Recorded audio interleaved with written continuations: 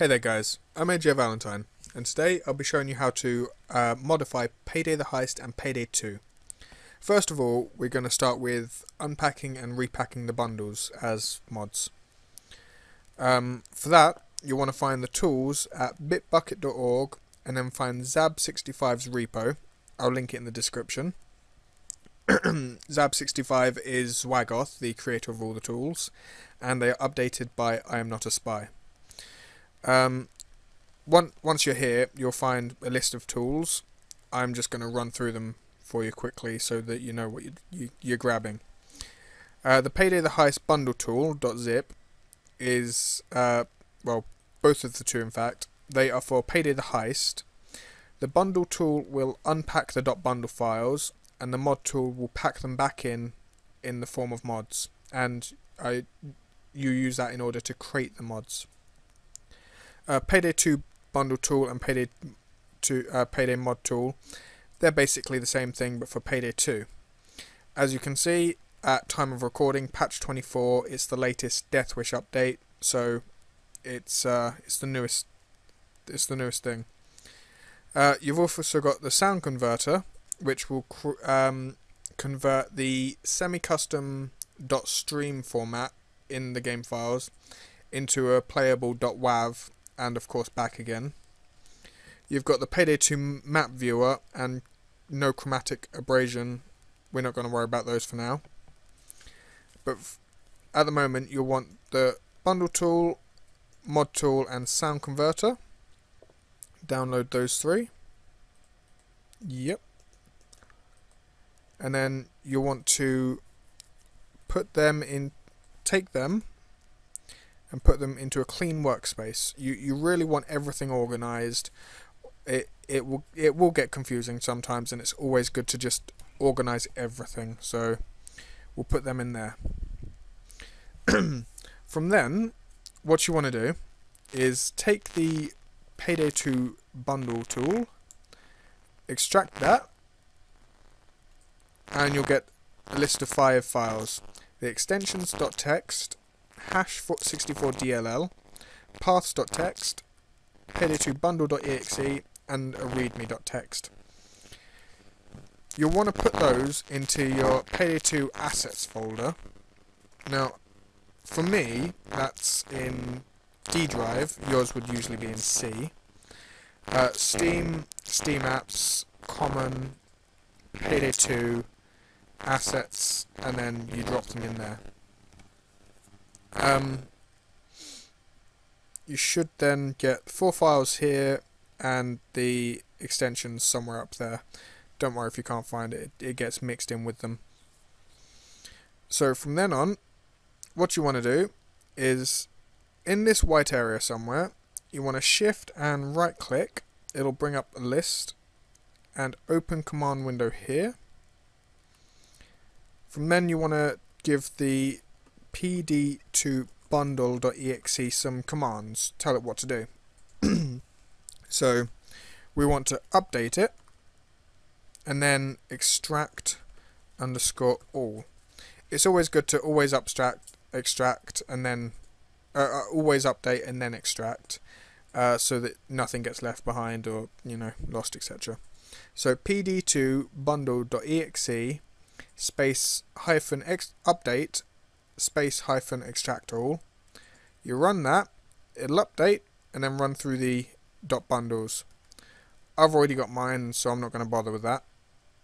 But once it's done, you'll scroll to the top, and you'll have an extract folder.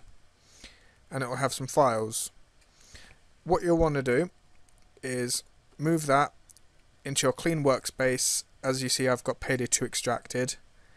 I've already got files there, as you can see so I'm just gonna delete this and go to my clean workspace. As you can see everything's there. So from that's the unpacking done.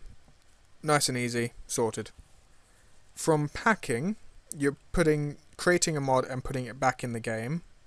What you want is the PD mod tool 1.13 at the moment you'll extract that it gave me an error last time I was attempting to record this, but it's purely a double negative. Don't don't worry about it. It's it's all good. Um, so from here, you want to run the Payday uh, bundle mod patcher. it will give you a, a splash screen warning, first time launch, etc. Read through that when you can. Um, what you want to do is first assign the game asset folder. So you go to browse, uh, where was it? D drive. Scroll down to D, and again find find the assets. You you should know where it is. Game version appears to have changed since you last ran the tool because I haven't run the tool yet. Don't worry about that. And from here we want to create a mod. Um, now I'll, I'll, show you which mod I'm trying to create. Uh, it's the background of the uh, like the planning phase screen. As you can see, it's now green. I, I it used to be red. I've changed this around. So we'll uh, untick this box first of all. All my mods there. We'll add that to this list. Now, it's always a very good idea to save the directory it came from so that you know where it's going. So GUIs forward slash, make sure it's always forward slash because the the bundle tool is a bit temperamental about backslashes. Textures, Payday 2, menu backdrop, background base layer just for convenience, it's always nice to be able to just slap that in there. As I say, it's always good to write out a list of where all your files came from and what they are currently called here. So I'll close that for now. I filled in both these fields here, so I add. If it if it's incorrect in any way, it will pop up with an error you might have ticked one of these boxes, you, you might have done something wrong, whatever happens. Uh, but then we got to give it a mod name, so Payday 2 Planning Phase Mod Green. I like green. By Last Bullet Gaming. And there is an option to rewrite all X bundles usually for reskins and textures and such, you do want to tick that. There will be a directory of what you can and uh, you do and do not want to tick. But for now, we do want to tick that. So remember to tick the rewrite all bundles box. As it says when you uh, tick it. Rewriting all, unless the mod says the mod does say, so we do it. Green. We'll create the mod. We'll just slap it in there, where it came from. And apply just as easily. Apply mod. It'll work through the bundles. Perfect time to uh, launch Steam, I think. It will back up the bundles and always create a spare backup in case you need it in the assets folder. As you can see, asset backups has now appeared. If there is a problem for any reason, you can just highlight X and move them back into assets. That's that done. The mods are gone, etc. I'm not going to do that for now. That's a bit anti uh, anti what I want. Can't think of the word. Okay. So Steam is slowly, slowly launching.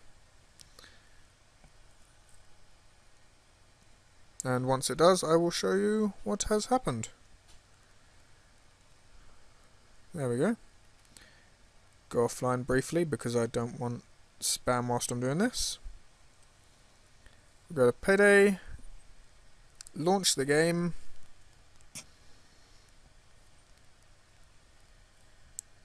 Might take its time, I apologise. and as you can see it's all green.